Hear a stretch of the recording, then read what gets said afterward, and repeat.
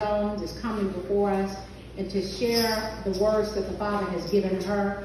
And we want her to give her theme, give her subject, and we will receive the uh, uh, Lady of God and a shout of hallelujah unto her. Sister Abigail Jones. Hallelujah. hallelujah.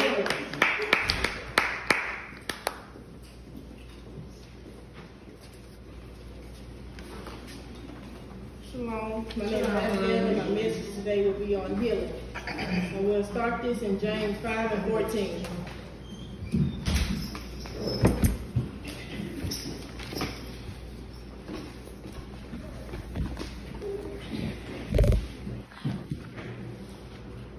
James 5 and 14. Is any sick among you, let him call for the elders for, of the church, and let them pray over him, anointing him with oil in the name of the Lord. Being who we are, we are assigned to pray for those who are in need. Hallelujah. Now we return to Luke. Thank you, Father.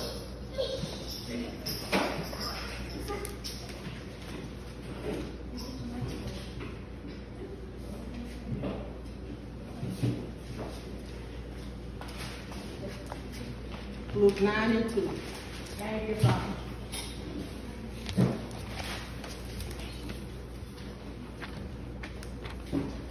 And it reads, And he sent them to preach the kingdom of God and to heal the sick.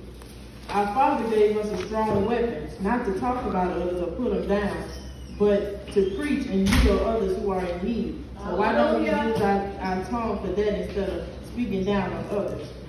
Now we return to Jeremiah 30. Mm-hmm.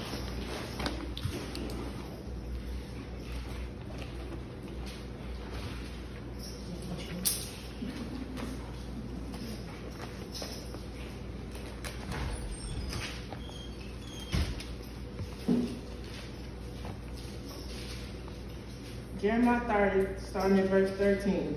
There is none to plead thy cause. Hmm. Now,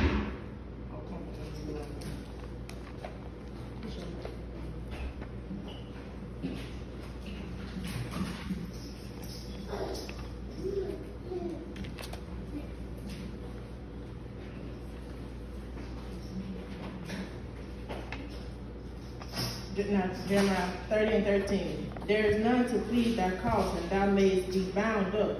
Thou hast no healing medicine. There are many times when a doctor is not able to prescribe you the medicine that you need.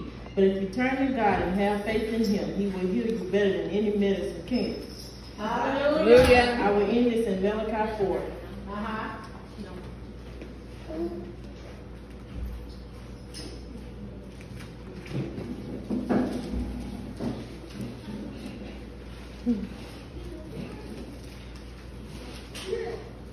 Malachi 4 and verse 2.